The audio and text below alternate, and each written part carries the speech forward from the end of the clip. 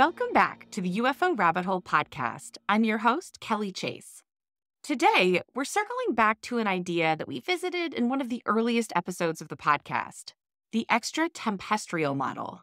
Sometimes also referred to as the future human hypothesis, the extratempestrial model is the idea that the UFO phenomenon might represent advanced humans and human descendants who were traveling here from another point in time. Now, I'll admit to struggling with this idea at first. Time travel has always seemed a little too clunky and a little too hokey to be taken seriously. But as so often happens on this trip down the rabbit hole, the more I learned and the more my perspective began to swell and shift to accommodate the strange new realities I was exploring, the more what once seemed like kind of a crazy idea suddenly started to make a heck of a lot of sense. And I found that many of my objections had more to do with the limitations of my knowledge than the limitations of the extratempestrial model itself. So I wanted to come back around to this idea because there is a lot to dig into, most of which didn't make it into the initial episode. And there are some new and updated ideas that I think are really valuable in understanding the complexities of the phenomenon. And there's no better way to take a deep dive into this topic than with one of the people who literally wrote the book on the extratempestrial model, Dr. Michael P. Masters. Michael Masters is a professor of biological anthropology at Montana Technological University. Dr. Masters' work related to the phenomenon explores the potential evolutionary trajectories of humankind, linking anthropological theory to hypotheses about non human intelligence. He is the author of several books on the topic, including Identified Flying Objects, a multidisciplinary scientific approach to the UFO phenomenon, the extratempestrial model, and his latest, a satirical science fiction novel called Revelation The Future Human Past. But before we begin, there are just a couple of things that I want to say about this episode.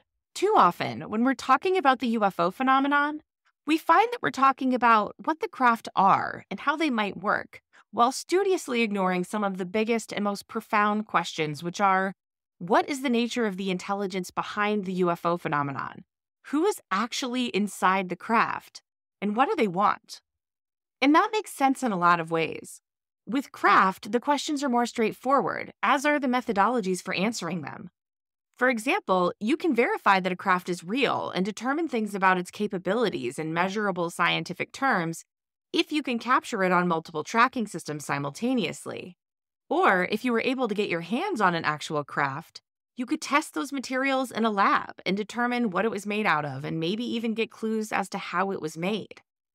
And with a topic that has been so heavily stigmatized, it's not hard to understand why people would want to stick to the hard science, to the things that we would, at least hypothetically, have the ability to prove in a lab. And there are many who argue that if we want ufology to be taken seriously, then the only way forward is to leave behind all the speculation and just focus on what we can know for sure. As the oft mentioned Carl Sagan quote goes, extraordinary claims require extraordinary evidence.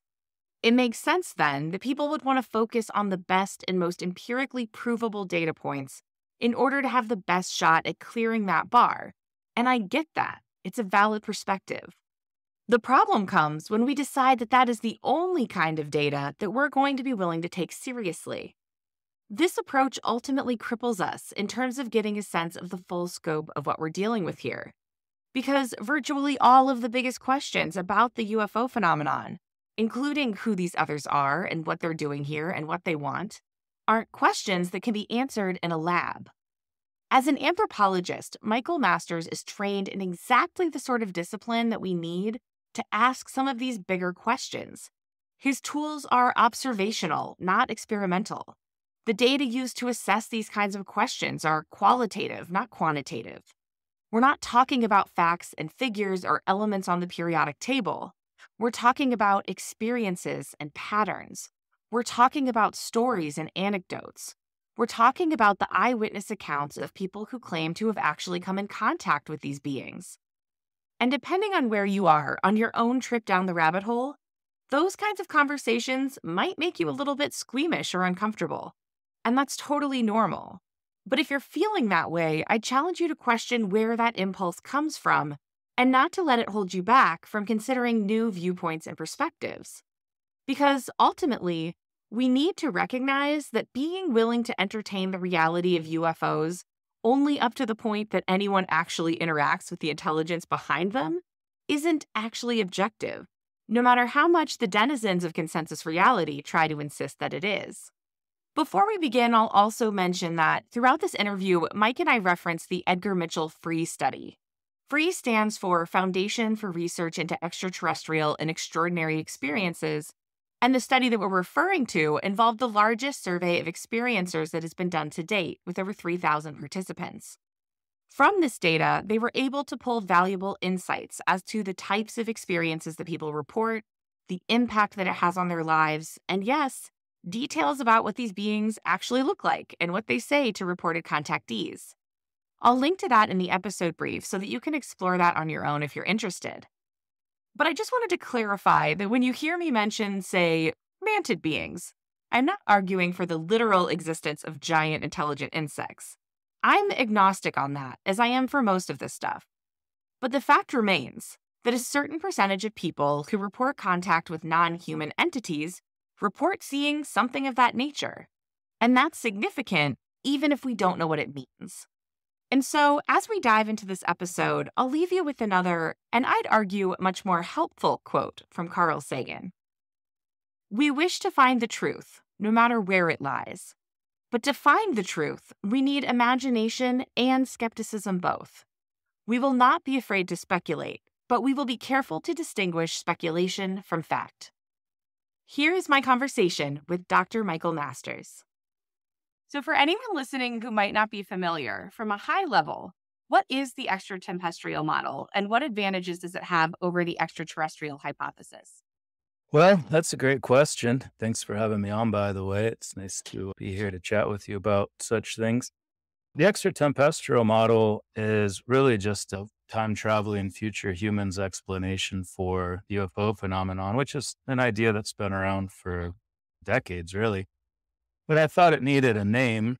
I have heard it called chrononauts and UFOnauts and a couple others, but I thought extratempestrial was a good way of sort of summing it up with one word, where the term extraterrestrial just means off Earth or outside of Earth.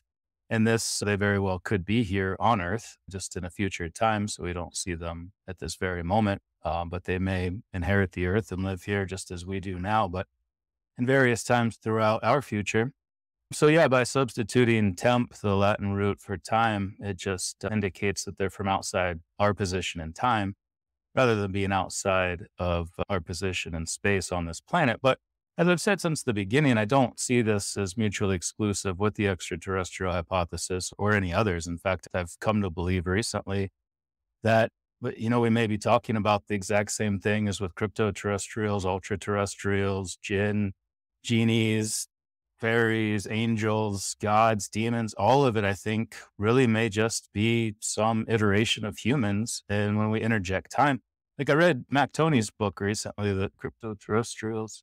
Can't find it on my bookshelf, of course, but you know, I'm reading it and it's the exact same thing I'm arguing. And we even have a similar writing style, which kind of freaked me out at first. But if you interject that element of time, that fourth dimension, we're saying the same thing, you know? So I think maybe if we step back and look at the phenomenon with that perception of being able to move through the fourth dimension of time or possibly a higher dimension that allows them to sort of dip in and out of whatever time they wish throughout their own past, then it may help explain a lot of these different interpretations that are potentially all the same thing.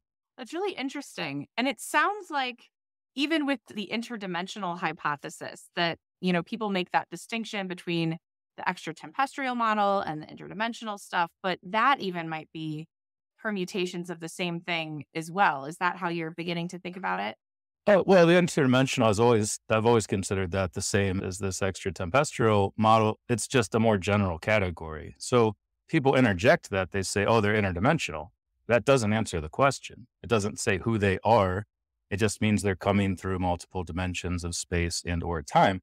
So then you have to ask, well, what do you mean by that? You know, are you talking about still individuals from off our planet with a separate evolutionary history on a different planet and different solar system who are using different dimensions to get here?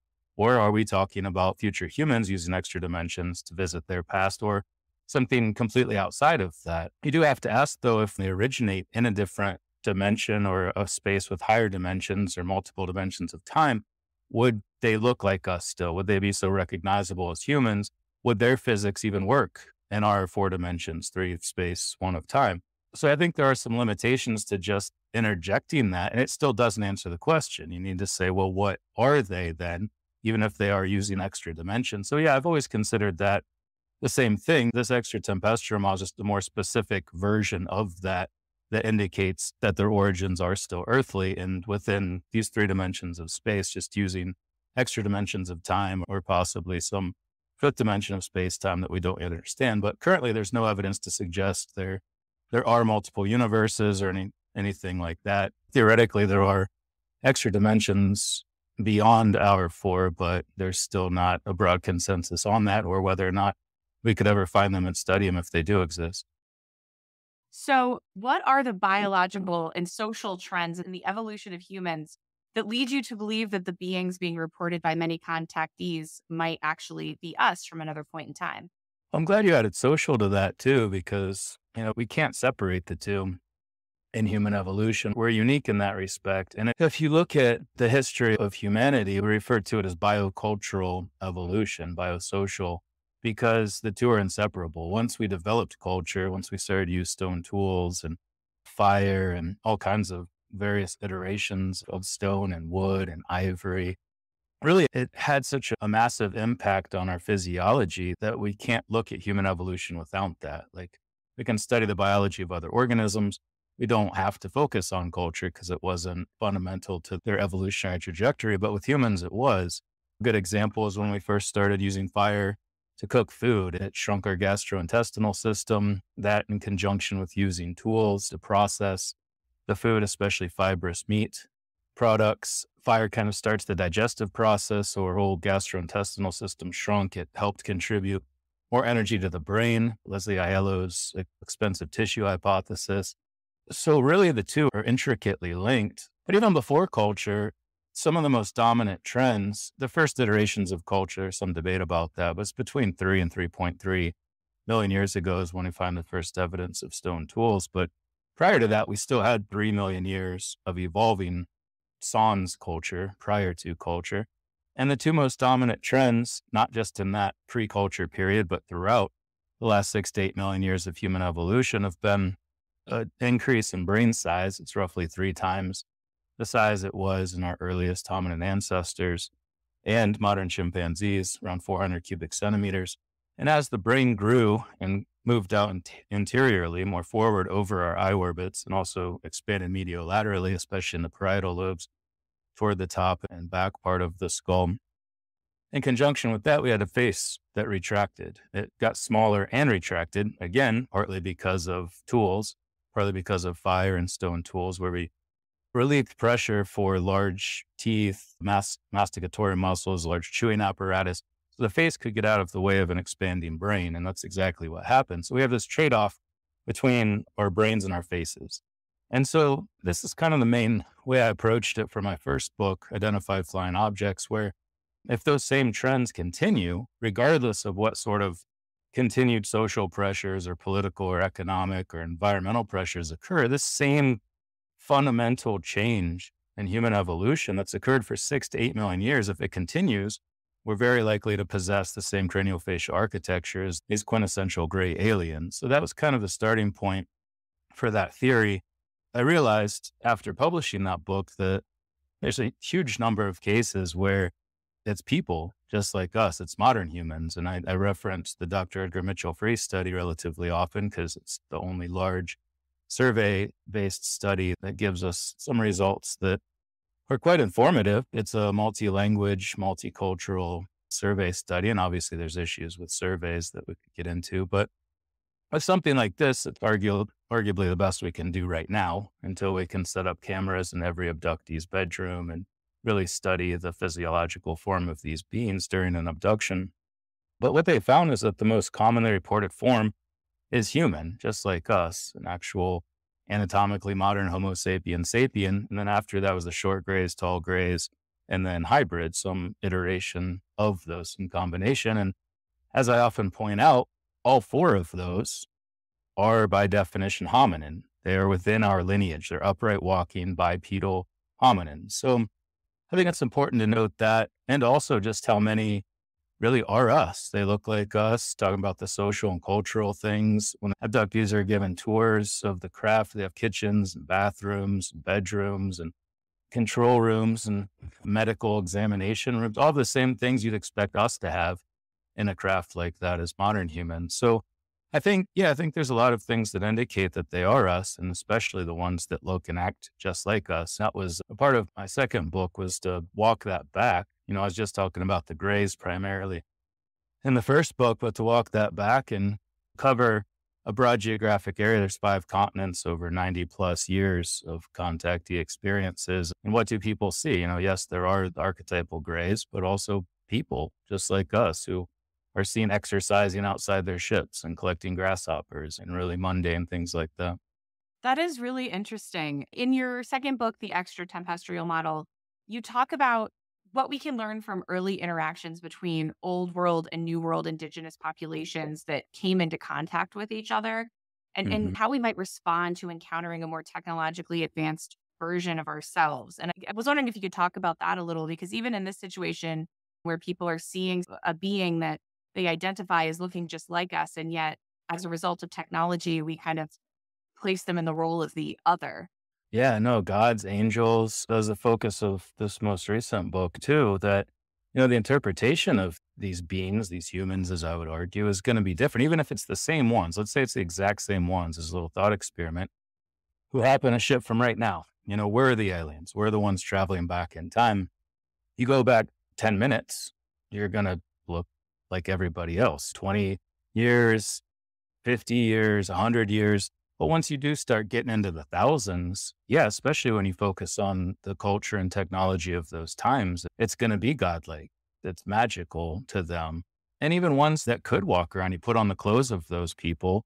You know, we haven't evolved this capacity yet, at least most of us haven't. Some individuals have, but the ability for telepathic communication, remote viewing, clairvoyance, future knowledge. Seemingly, a lot of these beings, even ones who aren't quite to the gray level, have that capacity. And if we did that, if we had that now, and we can go back and interact with the minds of these individuals without talking, that's a very angelic, godlike thing to do. And then just our technology alone would give us status. There's that cliche example of the white Europeans coming across and taking over the Aztec, the Mayan, the Olmec, all of these different civilizations. I guess the Olmec became the Aztecs, but they were largely able to do that because of how they were perceived. And then this hierarchical structure of their civilizations, where you take out the individual at the top and plant yourself in that lead position. And now you control the population, save for some of those that aren't as accepting of your new position of power over them. But they could do that because of the technological differences. Fortunately, these don't seem to be doing that. They're not taking over past groups and enslaving us and making us build things and toil in the fields, but they could if they wanted. Regardless, we still see them as godlike. There's been a lot of even recent UFO cults, UFO religions. And yeah, you take it back even farther with continuing the R technology example that I sort of tangentially strayed away from there. Sorry about that we're going to be perceived differently in each of these previous iterations of human existence. And you go back 20,000 years, 30,000 years, 40,000 years. Now it's unfathomable what we're doing, who we are. And we're seen coming down from the sky in each of these situations because the craft fly. So you can understand where the extraterrestrial hypothesis came from. You associate these craft with the stars, they're star people, as they're known in a lot of Native American societies. Even things like the wheel within the wheel, the burning embers, and the Ezekiel story. There's so many accounts like that. And if we step back and look at those, I talked about Mbaba Mwana Waresa in my second book, The Rain Goddess is this traditional tale in East Africa. And you see those all over the place because if people have been interacting these godlike beings, they're going to write that down. They're going to store that in oral tradition, or if they have writing, hieroglyphs, written history. But even through song and oral tradition, you can pass things down for thousands and thousands of years. And I think if we look at these and take them seriously and see these patterns across them, I think it'll reveal that the phenomenon has been with us for eons, just like so many have said before, Jacques Vallée and countless others. And yeah, what if it's the same thing, just uh, observed and interpreted by different societies because they are in this stage of evolution that predates their ability to comprehend it. We're still there, apparently. We still haven't quite cracked the code as a species yet, but I think we're close. And honestly, I think that has a lot to do with what we're seeing now with the current disclosure movement. It's really interesting. And you think about even now on our planet, the kind of spread that we have technologically. Like there's undiscovered tribes in the rainforest and on islands that are living at kind of a stone age level while we're f- taking people to the moon. So, yeah. you know, I have to wonder That's and, and see point. how those interactions go. You know, there seems to be a pretty large spread even in what we know about. Yeah, and I think that's I had never thought about that before, but that's a great analogy for likely what we're seeing going back through time where you know we have this snapshot in time now we like to think of everyone across the world as flying in airplanes and driving fast cars but that's not the case. We have a, quite a huge spread of cultural technological advancement. We don't make distinctions in anthropological circles anymore about first world second world third world because it implies some sort of ranking system but there's undoubtedly a vast amount of cultural variation that's in fact, one of the ways we know that our biology doesn't dictate our culture is that biology changes very slowly, subject to the laws of natural selection, and culture changes almost instantly anymore. You know, somebody does a new TikTok dance and it's viral across the world in a day or two. That's true. In the extraterrestrial model, you write, our tides, atmosphere, low gravity, orbit, distance from the sun, chemical composition, abundance of carbon, and DNA has the coding system for all life on Earth are additional factors that make it highly unlikely extraterrestrial beings would look, walk, eat, drink, mate, sense, think, communicate, or be anything like us. And that really struck me, and it made me wonder to what extent we'd even be able to recognize other intelligent forms of life, much less communicate with them.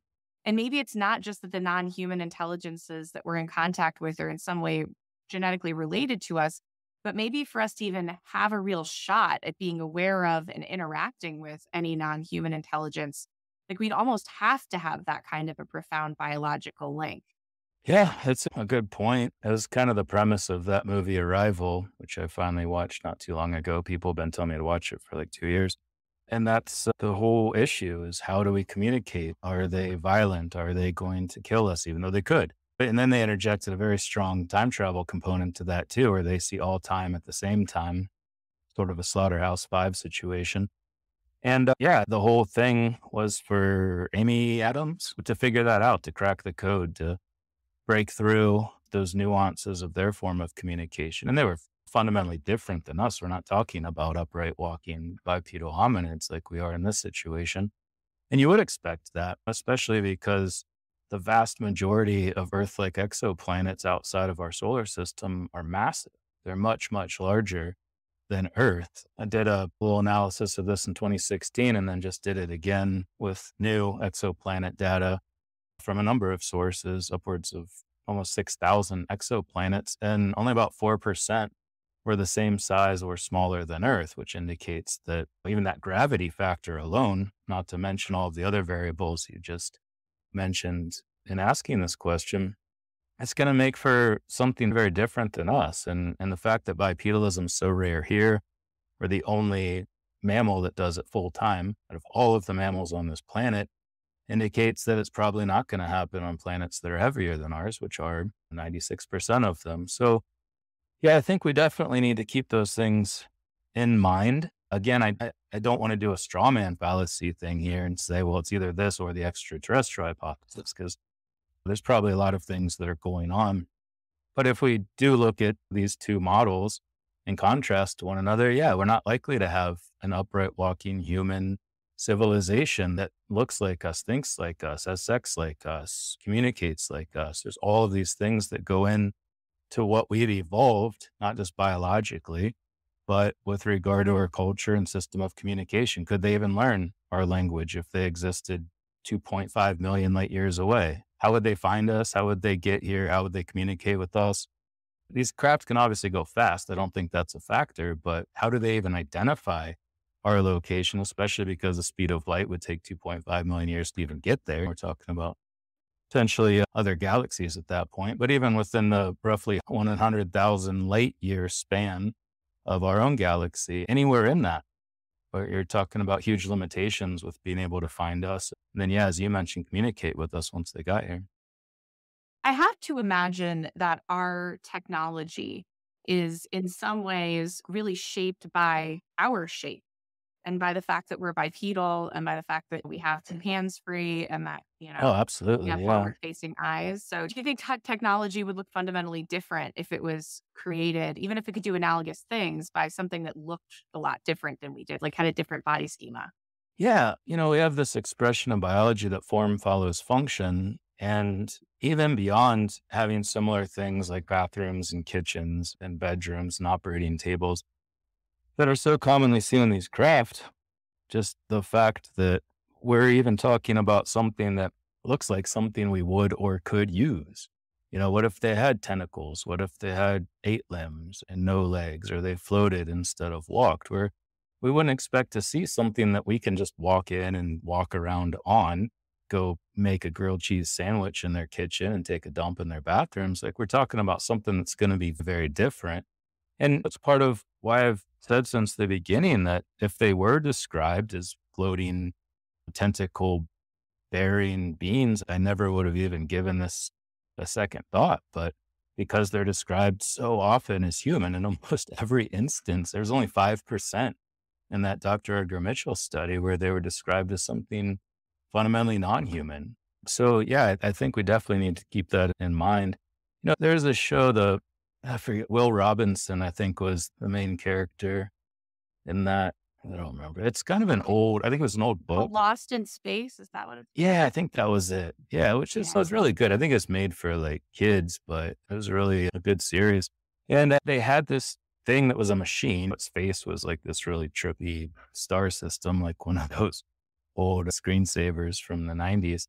But it was uh, still upright walking, still had two limbs. It could morph its body into something different, but it flew the ship with four appendages, upper limbs and lower limbs. So we do try to push that sometimes, but you watch Star Trek or Star Wars or the Orville or any of these, they try to make something look so different from us, but it still looks like us, you know, and they'll go to this planet, wh- which is allegedly many, many light years away, and they get there and it's humans that are identical to us that speak English with an American accent. It's like, come on, you know, try harder, at least push the boundaries of our knowledge of evolution a little bit, but it's hard to do that. You know, same thing with time travel. It's hard to stick to the block universe model of time travel when making a script because it's hard to be self consistent. Even though the universe seemingly is, it's a lot easier to interject change and interject different timelines because your storyline is easier to write like that. But I feel like we should do better with both.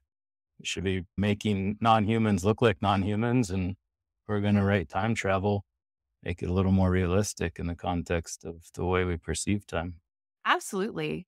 I think it's interesting too, going back to what you were saying about the kinds of beings that people report seeing, that even some of the more kind of exotic non human intelligences, like mantids, even though they look very distinctly not human, they're still kind of upright walking, bipedal, you know. Yeah. Did they have six limbs? If they had six limbs, they're an insect.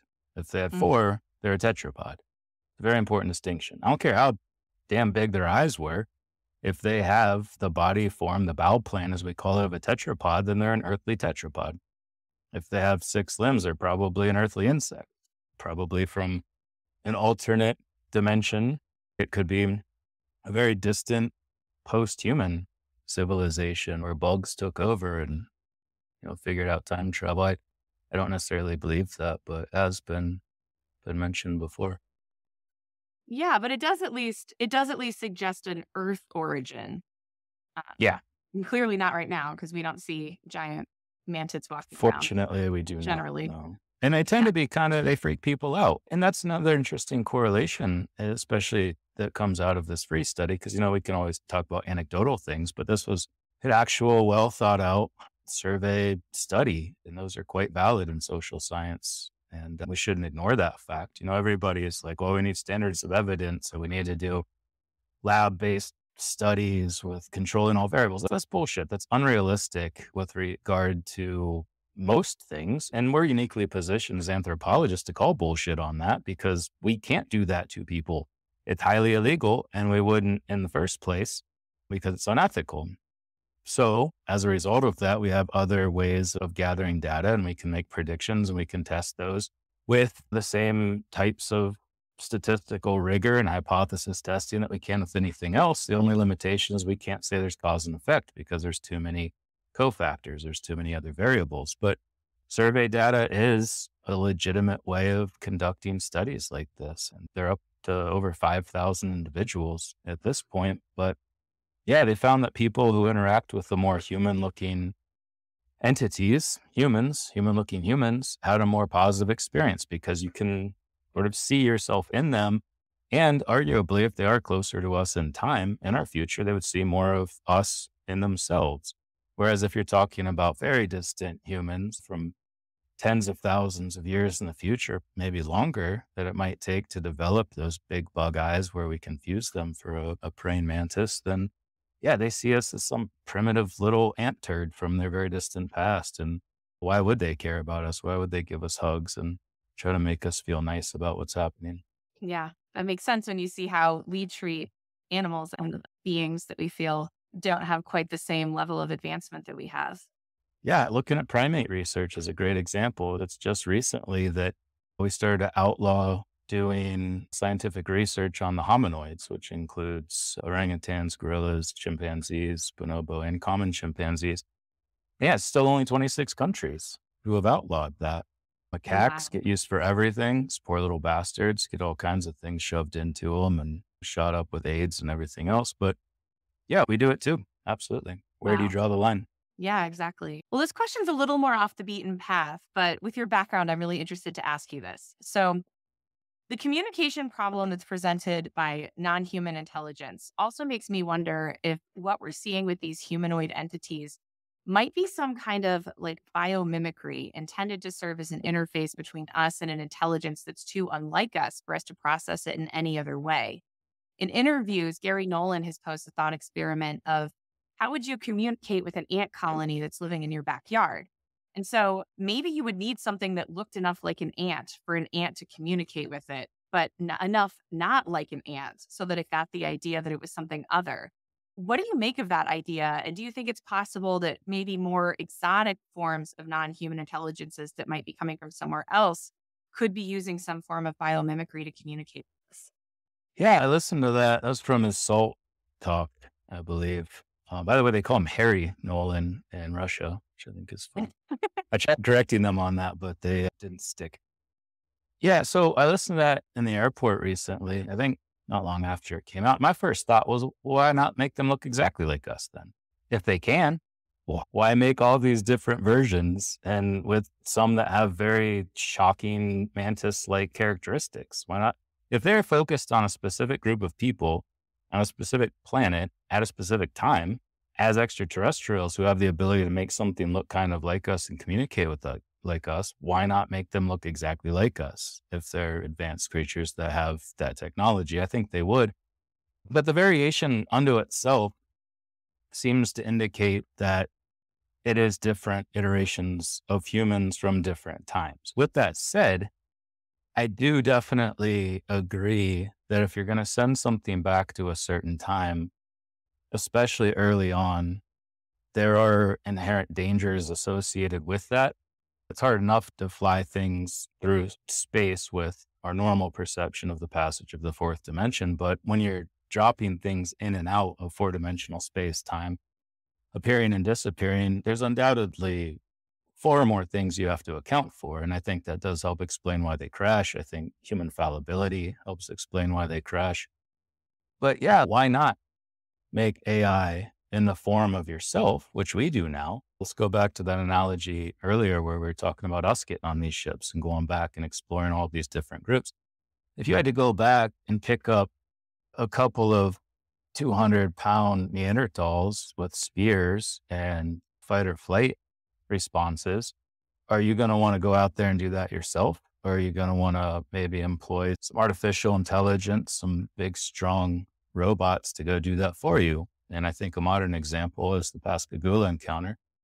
with Calvin Parker and, and Hickson, where they were taken by robots at first. They saw humans in the craft, but their initial abduction was arguably a robot, not even one that looked like a human, which I think is interesting. I think that implies that they're from a more uh, proximate period in our future. But Whitley Strieber thinks he was initially taken by an AI that looked like these grays. So I think they make them in their own image.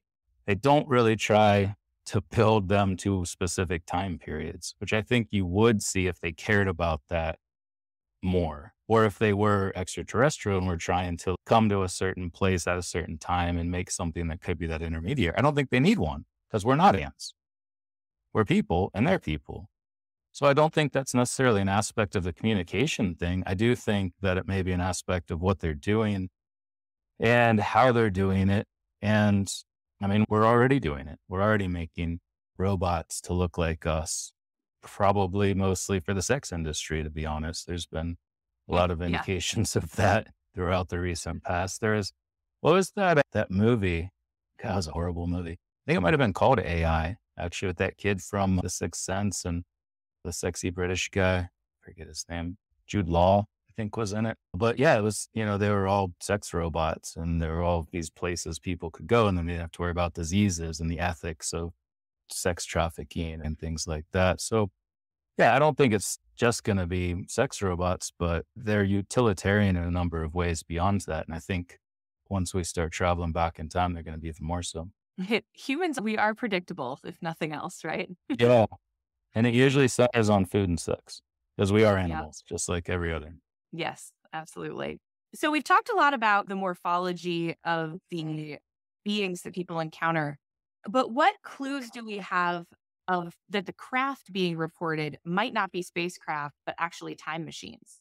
Well, I think they can be both. They can go very fast. And like I've argued for a long time, if we are going to do interstellar travel, we would need those craft to be time machines simply because of the effect of time dilation, how it compresses both time and space for those inside the craft. So when they get back, the classic example is the twin paradox, where the individual stayed behind is much older because time passed faster back on their home planet than it did for the twin that was in the ship. So if you wanted to return not just to your home planet, but your home time, you would need backward time travel technology to do that. So I think that's probably going to be an aspect of both. And I don't think we'll really attempt interstellar travel until we have that capability. But honestly, I've come to think that these, these machines are both inherently, not just because of that, but because of the way they appear and disappear, the way they seemingly shift colors, the color spectrum when they're powering up before darting off or just disappearing in thin air. That's something you would expect of a time machine. And then, and I, I kind of broke down the history of how we understand time and how time travel might work in my first book since Einstein's 1915 publication on general relativity, which laid out 10 field equations that have been solved numerous times to demonstrate that time travel is possible.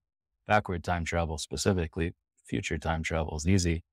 But then obviously we're talking about 1915 to 2023, still without any knowledge of the advanced machinery that we're arguably seeing from that future. And we're likely reverse engineering. And this is the thing that pisses me off the most is people miss this obvious fact. They're talking about how these craft are thousands of years beyond us. And we're reverse engineering them. In linear time, we're going to be flying those things thousands of years in the future, probably a lot sooner than that. But we would be expected to have the technology if we're reverse engineering, we'll eventually figure out how it works and then use it to travel back in time. And I feel like it's a very obvious thing that a lot of people just goes right by them. Like, yes, it's more advanced than us. Yes, we have it. Yes, we're figuring out how to do it. Maybe that'll be us at some point using that same technology. And I talk about this in both of my books because I think it's an important point, but one that's really commonly overlooked and in people's statements about this highly advanced technology that's so hard to understand. And certainly it was for our ancestors, but we're getting to the point where we can start to understand it. We can figure out how it works, even though all of these secrets are being kept from us because of the benefits of the military industrial complex and what they can get out of it in the context of war. Another predictable thing, sex, food, war which has always been the case. Anytime any civilization, any small group had technology that was more advanced and better at killing other people, then they spread and that technology spread with them. And unfortunately, that's probably been the case with what's been going on with the UFO cover up over the last 90 years as well, especially because a lot of it was happening during wars, Cold War, World War II, post World War II, and so on. But yeah, I don't know. I think there's a lot of things even beyond that that indicate they are time machines. I list a no- number of them in my second book, just like the fact that the trees were allegedly the trees around the Travis Walton abduction site grew at a much faster rate, and they could test that with the tree rings around them relative to trees farther away from that. Linda Jones in Manchester, UK describes the grass growing instantly around her. Jim Penniston talks about a sphere of influence around the craft where time seemed to slow and then he had missing time. And missing time itself is, I think, a pretty good indication that there is some sort of shift in the rate at which time flows as we perceive it in and around these craft. So, yeah, we can only know so much in this very limited perspective we have in 2023. We think we're so advanced, but when we're talking about these highly evolved, complex machines, we're not. Know, we may be there eventually and we'll look back on our understanding of time now. Physicists don't even understand it. Astrophysicists, they can do numbers, they can crunch things, but it's all bullshit because they don't even know what the fundamental nature of time is. And arguably space. Sean Carroll says that all the time. Space might also be an emergent phenomenon. And then they get all like bitchy with everybody, like we know everything. And I think it's kind of a Napoleon complex where they don't and they know it, but they got to double down and be like, well, actually, uh, no, we've got it all figured out. Don't you worry about that. You can't do the, the math. So don't worry about that. And it, it's infuriating because if we all just said, look, we don't know, but let's try to figure it out together instead of just, I don't know, making all these little fights that you see in the UFO community, the paleoanthropology community, any field where there's a lot of smart people that don't have it all figured out it tends to just devolve into chaos and name calling and arguing. And you see that across the board. I guess I'm a part of it by just saying that too. So I'll call myself out. yeah, absolutely. It gets ridiculous at times.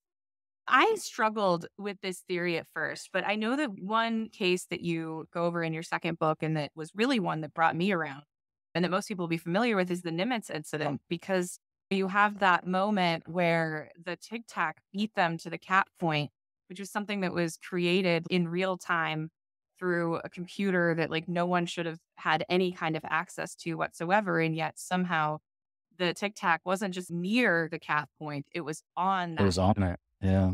Yeah. I feel like it's almost impossible to wrap your mind around that and what could be going on there without there being some sort of an understanding that they are interacting with time in a way that's different than yeah future knowledge too I mean, it, if we're talking about individuals that knew something about the future, and that almost seems like one where they're trying to communicate something, where they're trying to say, hey, look, we know where you're going.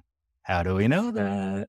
You know, should be asking questions. It's like there's a lot of things that they seemingly do to make us ask questions. Uh, some of us, there's the vast majority of the human population that ignores all of this, but yeah, if you pay attention, and like I said earlier, I wonder if that's an aspect of the disclosure thing is that we're not just asking questions, but trying to figure it out.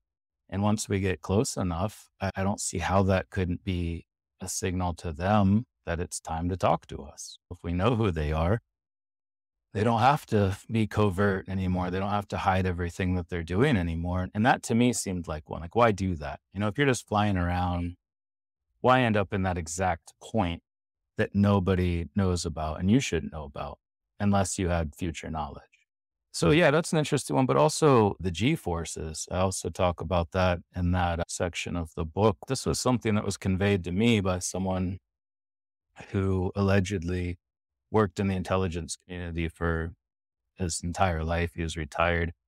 I can never know if that's true. I can never fact check those things. Um, maybe somebody could. I don't know. I didn't really care to either because I felt like they were just trying to tell me something. It didn't matter who they were.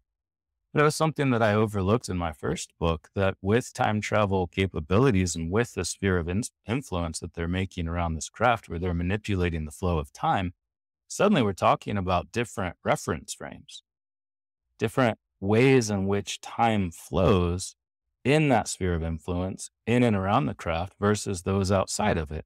And based on a number of different cases, I give examples of both in the extra model. They're doing both. They're speeding it up and slowing it down. So if they have that ability to slow down time in and around them, what we see is a 10,000 G maneuver, maybe, you know, 0.5 or 1 G to them. It may feel just like a plane taking a slow bank as it comes off the runway. So, you know, I do, I think it helps explain that too. And that's what this X intelligence individual told me. And whether or not they were who they claimed they were, they wrote to me after my first book came out, pointed out a very obvious thing that I overlooked, a point of ignorance. And I was like, oh, cool, that's interesting. Thanks. And they were like, no, I don't think you understood what I was saying and explained it again. And I was like, oh, yeah, damn that makes a lot of sense. And we moved on and I've been talking about it since then. You know, it's not something I thought of, but once they mentioned it, and it's been the case with all of this research, is that, and this is why I argue that we should all be talking to each other and not fighting, because if we listen to each other, we all move farther down the field faster than if we just get on our high horses and think we have everything figured out. But you mentioned that there's been a couple other ones like the AI thing we talked about earlier. I overlooked that. My first book, Disease Transmission, was another one I overlooked. So it's important to put things out there. It doesn't answer everything, doesn't even come close.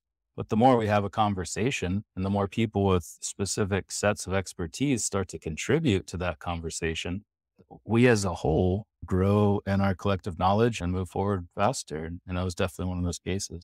And it's so interesting too how so many of these things that the craft do seem impossible. And then people tend to blow them off and say, well, they, it can't be real because that's not possible. And yet, like you just gave that example. Wait, who are you, you talking about? I feel like you're talking about someone specific there. I mean, I might be, maybe it might be subtweeting. Maybe. But, maybe. But I mean, but but with one little change like that, like with one little piece of context or one little idea, suddenly what is impossible makes so much sense. And it's like, well, mm-hmm. why would mm-hmm. we run from something that seems impossible? Why wouldn't we stop and talk it through and try to find that thing that makes it makes yeah that's one of my favorite things about jeff kripal at the at rice universities he addresses the impossible it's most of the archives of the impossible a number of his books are like well what is what the hell is the impossible it's a stupid idea that we have where posterity, we look back on it like, oh, that was actually kind of easy. And that was the first quote J. Allen Hynek in my most recent book, Revelation, was we look back on the past. It's like we forget that there'll be a 20th century science and a 30th century science. Then we look back with this arrogance of posterity. I don't remember the exact words he used, but it's absolutely true. And we're talking about time frames that are centuries where this phenomenon likely stretches tens of thousands of years into our future. So, yeah, this tiny little blip on their radar probably looks ridiculous. Kind of embarrassing for humanity, I would guess. yeah, I would not be surprised if that's the case. With time travel, I know that a difficulty that a lot of people have with it is they have this kind of back to the future sort of paradigm around it, where if you go into the past, you could potentially create a paradox where maybe you wouldn't be born. But you've argued in your work that the block universe model resolves that paradox. I think that's something a lot of people aren't familiar with. So could you explain what the block universe is and how that works? Yeah, and you're absolutely right. Marty McFly ruined all mm-hmm. of our brains in the 80s and 90s. You know, great movies, but definitely didn't do anything for how we perceive what is likely the way in which time works. And so, yeah, like a lot of people get hung up on paradoxes. And that only exists if there is actual change, if there can be change to the past. However, within the block universe model, there is no ability to change it because the past, present, and future all exist already as one massive four dimensional entity, a block of all moments in space time that have, are, and will ever exist. So if you go back into the past it's not changing anything. You go to the past as we perceive linear time, which our brains had to develop. Neuroscience has shown that we perceive time linearly because we have to. Because if a tiger is running at us and we're perceiving time backwards, we run straight into it instead of away from it. And there's different speeds at which other animals perceive time too, what I call biorelativity, because it's not just this same perception of time and the speed at which things change that we see. Donald Hoffman's written a lot about this, not just with the perception of time, but colors, textures, feels, everything. So we've evolved to have a linear perception of time. And unfortunately, that's really limited our ability to see beyond that. And you're right, this is the big hangup for people. I think I've probably explained block time more than anything else in any conversation I've had because it's important to understand. And it's not just my idea either, it's the most conventionally held understanding of how the universe works. Earlier, I mentioned that we still don't know what time is. It's not fundamental. It's an emergent phenomenon. It comes from something that is fundamental that we don't yet understand. So we could potentially alter this knowledge to expand beyond the block universe. But currently, this is what we have, and it does make a lot of sense. And within this, it doesn't allow for paradoxes in the way that they're often perceived. Because you go back into the past, you do whatever you're doing, you're not changing anything. You're just doing what you already did in that past period. You come back to the future, everybody's heads aren't made out of donuts. They're the exact same as they were because you had already done those things before that moment in time. It's already there. It just took you still going to do it. And nothing changes. It's still all a part of this massive landscape of time that we can't see because we see this sort of linear flow to it, but the past, present, future are all there. They're all part of that massive block. And we feel the present, even though it doesn't exist. This was one of Einstein's big hangups that he, there's no way to quantify now.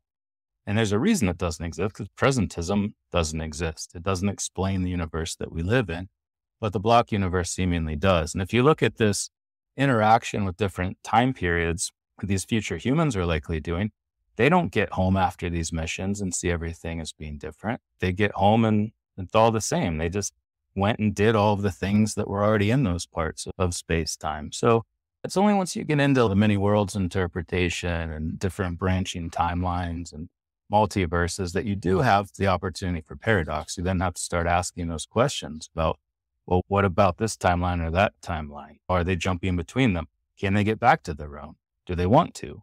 Why don't we see future humans constantly coming back trying to change things because they screwed up the timeline by doing something they thought would be good and it's bad. You expect all these time wars and things that we just don't see. So I do think the block universe model is not only accurate, you know, I don't argue for this because I do think it helps explain the phenomenon. It's just what we agree on is the fabric of reality at this point. But again, that can all change. Mm, yeah.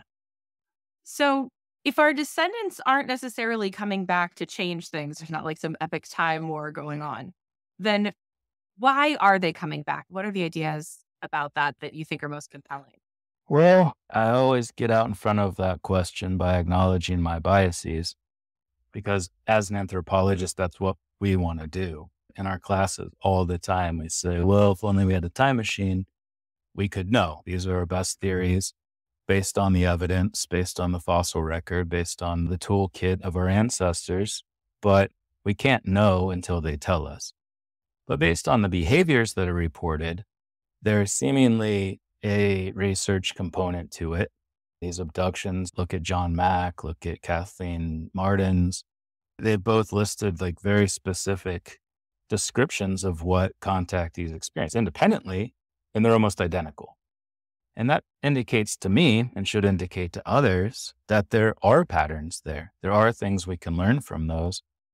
And they seemingly are scientific. It seems to be research based, at least in these time periods where people are being abducted. Now, it may be a whole different thing that they're doing even 200 years ago or creating religions 2000 years ago or whatever. But what it seems like in this time period is that it's research based and it's also a gamete collection endeavor on a massive scale. That they're collecting sperm from men, they're collecting eggs from women, and that is seemingly paramount.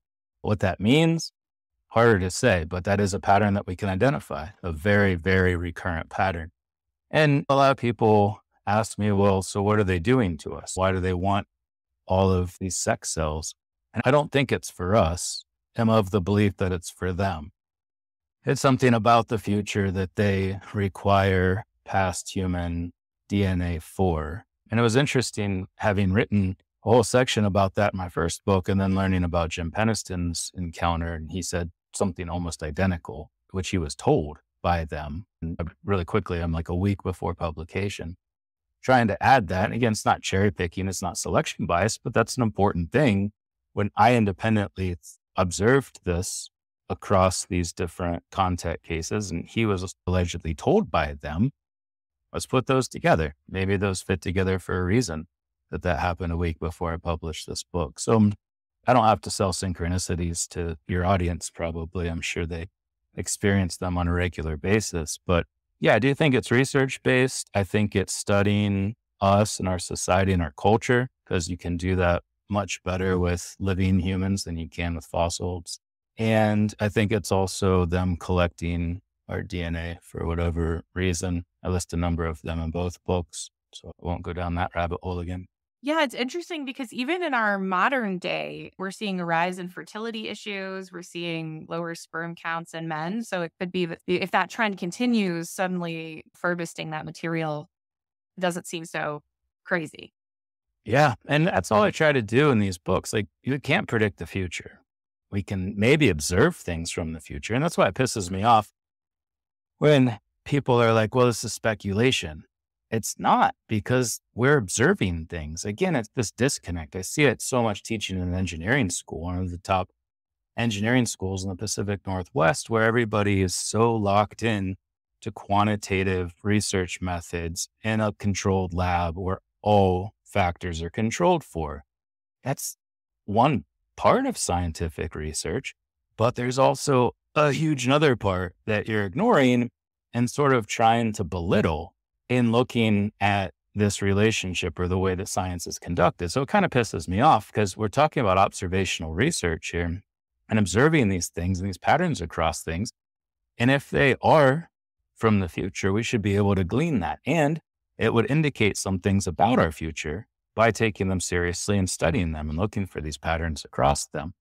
Knowing that, one thing I really tried to avoid was predicting what's going to happen between now and then. And I hear this all the time. Well, we're going to live underground or we'll live in space. There's a ton of YouTube videos where they sort of take these ideas and go there because I don't. And I don't for a reason because we can't know. We can't know what happens between now and then to create this craniofacial form. So, as you mentioned, it's important to look at trends, long term trends that we can identify in the present and throughout the recent and very distant past. And if those continue, we're likely to see this, that, or the other. So, yeah, we should absolutely focus on those fertility and fecundity trends in the context of this question. But at any point, anything could change. We can't say for sure. The only one I would really hang my hat on is the craniofacial change, the runaway brain. That one perseveres throughout potentially 8 million years of human evolution, regardless of what we're doing and where. And yeah, I don't see that one changing simply because we became aware of it. I think there's probably something deeper going on there. But yeah, trends are important, patterns are important. Should pay attention to them and stop elevating lab based quantitative research over all others because it's a very narrow view of science. Yeah, absolutely. So, to switch gears a little bit, you also have a new book out called Revelation The Future Human Past, which is a satirical science fiction novel the book is really interesting with lots of big ideas and food for thought. And it's also deeply irreverent and really funny. I was reading it on an airplane this weekend, and I think I completely annoyed the person sitting next to me. Or there's some LOL moments. Right, because I thought you were going to say erotic, which it also kind of is. It is a little erotic. I'll give you that. I'll give you that. Um, but so are contact experiences. Mm-hmm. So exactly. Can you talk a little bit more about the book and just what inspired you to write it? Yeah, I'd love to. It's actually the first time I've gotten the chance to talk about it. So I was inspired. I did a talk at the Esalen Institute in Big Sur, California in July. And one of the co founders, Michael Murphy, came up to me after my talk and he's like, Man, we've had so many UFO people through here. And I, I call bullshit on all of it. I've given up on UFOs. But you know, listening to you talk about this future human idea, just it makes a lot of sense. It checks a lot of boxes. But I'm curious, hey, have there been any studies of sex and music specifically? Like, what can we learn about the potential future human or aliens, if they're extraterrestrial or whatever, about sex and music? I was like, there's been some cases with some pretty hot stuff going down. But as far as a study of that, I don't know. I was like, I'll get back to you. So I went through just, I don't even know how many cases across all these different databases. And you can find anecdotal accounts of like, yeah, and then this happened. And obviously the sperm extractions is ubiquitous, but that's not sex. That's not that interaction on some spiritual level. And yeah, I kind of got frustrated. I couldn't find anything. So I thought it'd be fun to write a book where that was sort of a corner piece of it and how we see sex now and how they potentially see it as a really cognitive spiritual interaction, which we can feel too, but also what that might mean for research. If they're coming back to study that from the future.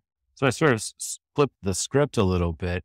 And instead of us studying that about them, I was like, well, what if they were studying that about us? And then, yeah, like just re- religion's really interesting part of it that keeps getting mentioned. Like, well, one of the hardest things about disclosure is going to be for religious people. I was like, well, I'll write a book to help religious people so they can, you know, kind of get ahead of that and get a, a foot in the door. So when things drop, they're like, oh, okay, it was future humans. uh, and I'm being a little snarky in saying that. But so, no, it was just this kind of combination of his questions and also satire is just fun. I think a lot of people read this and think, oh, Masters is some kind of bleeding heart liberal or something. But I'm actually pretty middle of the road when it comes to politics. I'm certainly a social progressive, and I think we all should be.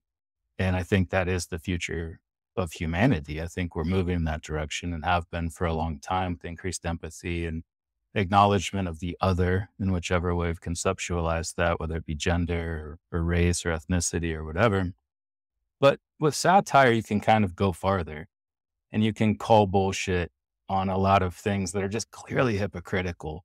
And so I think the book was a combination of all of those, where it's pushing humanity forward, where we're seemingly going based on past trends again, with regard to empathy and this way of being more accepting, which clearly we have been. Jim Crow laws were 60 years ago. Slavery was just like a hundred and some. So it wasn't that long ago that we are complete assholes to each other. And I think we're moving in a direction where we'll be less and less assholes to each other. And we'll recognize that a lot of that was the product of religion. You wrote the book in dialogue. I'm just curious about that choice and what led you to make that decision. Well, I don't really feel like it was a decision.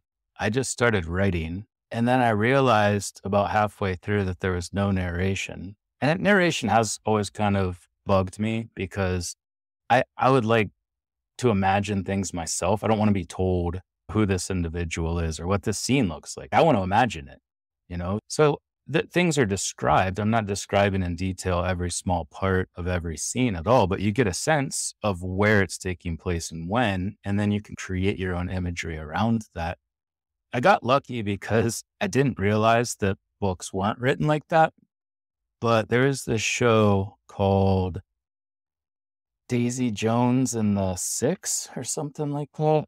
It's Elvis Presley's granddaughter. And I saw her on Stephen Colbert's show. And she was talking about precognition and how she's had it her whole life. And it was, she's an advocate for precognition. I've had it my whole life too. And so I was really interested in this. And then watched this clip they showed from this Daisy Jones and the Six show, or I'm probably bastardizing the name of it. And it was about precognition in the show too. So that was a, a nice little thing to see. But then we're getting ready for this trip to go to Europe. And my wife picked up a copy of the book that I guess this show is based on, as they oftentimes are. And we're in Europe and I got a little break in Paris for the first week. And then we headed south through the Dordogne and onto the Mediterranean. And my editor sent the manuscript back like, dude, nobody's going to have any idea who is talking at any point in this book. you know, and my beta readers had kind of indicated that too. And I was like, no, I know, I just don't know what to do. Turns out that entire book is written as dialogue in the exact same way. And my wife, you know, I'm laying in bed. I'm like, my editor just said this. I don't know how to finish this book now. And she's like, actually, that one we brought that we were carrying around that nobody ever read the entire time we are in Europe was written that exact same way. And I opened it up. I was like, holy shit. Oh, yeah, that's perfect. I just put their names in front of it like they did in this book. So there is precedent for it, I guess. I didn't learn that until after the fact. But yeah, it's being turned into an audiobook right now by a couple of uh, voice actors, and they're excited about that, you know, because they just get to act. The whole thing is just being those people in those moments and saying those words and putting their own twist on it. But I don't know. It wasn't intentional. It just came out that way. Well, I really liked it. I thought it was really effective without giving the plot away, but the story starts in such a very grounded sort of place and then slowly kind of slips into this more surreal reality. And I thought that because you weren't getting all these like intricate descriptions of everything, it made it a little bit more dreamlike and a little bit more interesting. I just thought it was cool. I think it was the right choice for book. It's great. I'm glad to hear you say that because I didn't do it on purpose. and you never know how something's going to turn out when you kind of buck a trend like that and just right. Like I was aware that most books have narration, but yeah, I just I felt like it worked for this too. And there's enough character switches and enough. It, I didn't go too crazy with characters because you do have to follow along with who's saying what. But I made the characters maybe a little richer, some more relatable, some that you can hate more, and then obvious with any arc of a character, those things change. But yeah, it's hard because uh, there's so many things I want to say. Um, like you said, you can't because you don't want to give away the storyline and some of the twists and turns. But I do think that people who follow the UFO phenomenon will enjoy a lot of the Easter eggs and some of the not just references, but themes, like the whole cataclysm thing. That was another, just to backtrack, that was another kind of main reason for writing it is that whole idea about what if there are two different groups of future humans, like Frank Milburn and Ross Coulthart have been talking about for a long time. And I've been asked about that too. I've been in contact with some of these people as well. What if that is the case? What does that look like in the context of our future? What might that mean for humanity? And I think that is an important question. And in writing a satirical science fiction book, you're putting things out there that might make sense, that might be complete nonsense, but you have the freedom to do that. And that was a really fun part about writing this. Well, it's really awesome. I can't recommend it enough. And it's a super fun read. And I hope Hollywood comes knocking for you because it, it felt to me, I was like, this maybe because it was in that dialogue form, but I'm like, oh my gosh, this could be a movie. it would be very adaptable. I know you wouldn't have to do anything. The thing would be just cutting it down. You'd have to cut it down to where it could be a script, but I think that would be a super easy process. And I'd love to see it become a movie someday. I've already got actors picked out. Well, we've we're speaking it into existence right now. So let's do it. we're manifesting it. Absolutely. So, just to get things wrapped up, what are you working on? What should people expect to see from you next? I've always come out with paperbacks, ebooks, and audiobooks at the same time. And it just wasn't possible with this one because it does require acting and voice characters, different characters for different voices. So the rest of my summer is probably going to be spent doing that, which I'm kind of excited about because I've developed some audio production skills being in, in various bands over the last 20 years or so and recording music and recording my first two audiobooks too. It's just obviously different because there's more people involved now.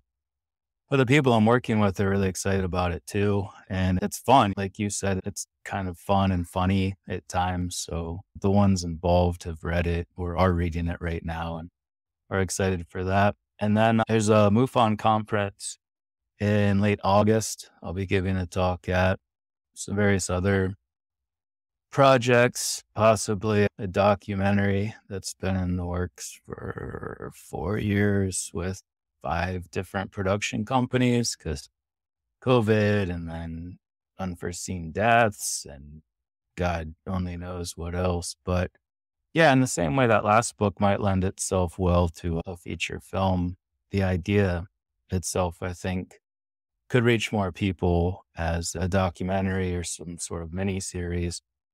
A lot of people have seen that too. It's just been a number of issues and getting that out. But I'm working with somebody now who seems to be really passionate about it. And we seem to have a lot of mutual goals with regard to the creative aspects and the storytelling and the science. You know, the big problem was that I wanted to adhere to the science behind this. And as you're well aware, and your listeners are, um, entertainment dominates everything. And people are so afraid to break into doing something different, even an idea that makes a lot of sense. If it doesn't conform to what they know sells already, then it's hard to really make that switch. But things are changing, they're changing fast. So I'm excited to see where that goes. They sure are changing fast. They sure are. Well, Mike, it was so wonderful to have you on the show today. Thank you so much for making the time. I'm such a fan of your work and so excited about your new book. I'll be sure to include all the links for all of your books in the episode description so that people can check those out. But yeah, thank you so much for coming on the podcast today.